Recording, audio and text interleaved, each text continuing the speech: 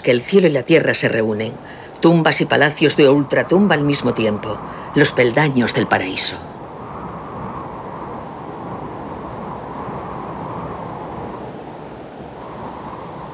Pero el acceso al paraíso no era tan fácil. El paso al reino del limbo necesitaba la intervención de las fuerzas mágicas. Para asegurarse los favores de los dioses, fueron concebidas algunas reglas religiosas y preceptos rituales, encantamientos, juegos de magia. En la pirámide del rey Ounas en Saqqara encontramos por primera vez en la historia de la humanidad, unos 2300 años antes de Cristo, Textos religiosos escritos con jeroglíficos en las paredes de la cámara funeraria del faraón son las reglas para una vida buena y agradable a los dioses, la condición que aparece a la entrada del paraíso.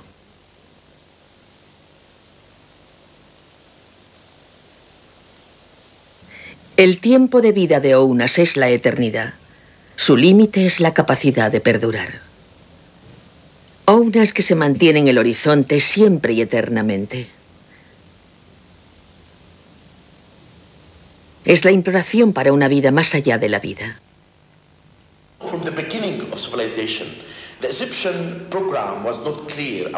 Desde los principios de la civilización, los egipcios no tenían una idea muy clara de la muerte y de la vida. Cuando el rey moría y lo trasladaban a su tumba, mataban a sus esclavos y a la gente que les servía, porque pensaban que quizás pudieran necesitarlos en su vida posterior. Más tarde se dieron cuenta de que era una locura y dejaron de hacerlo. A partir de las dinastías segunda y tercera, es decir, unos 2700 años antes de Cristo, en cuanto los personajes oficiales y los nobles se enteraban de dónde iba a construir el rey su tumba, construían las suyas al lado. De este modo pensaban que estarían con el rey en el más allá. Así es como surgió, primero en el caso del rey y luego en el de la gente corriente, la idea de que había que pensar desde muy pronto en la construcción de su tumba, ya que era el único modo de asegurar la vida eterna.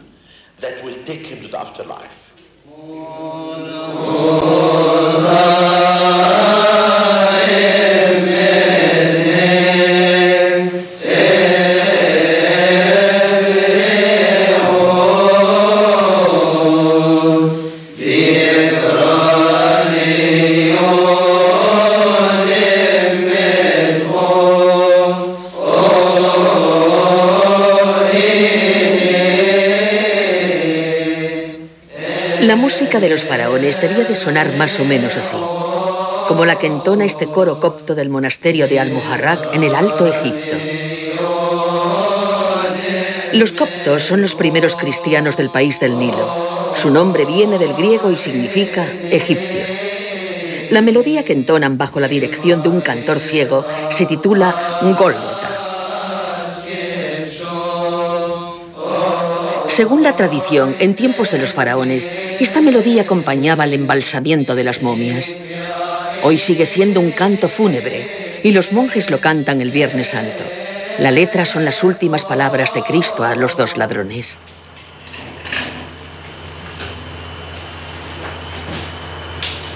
Desde hace 70 años, el Instituto Copto del Cairo reúne textos religiosos antiguos y los archiva para que no caigan en el olvido.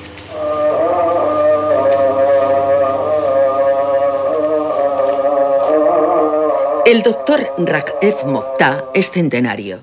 La conservación para las generaciones futuras de la herencia copta y faraónica es la obra de su vida.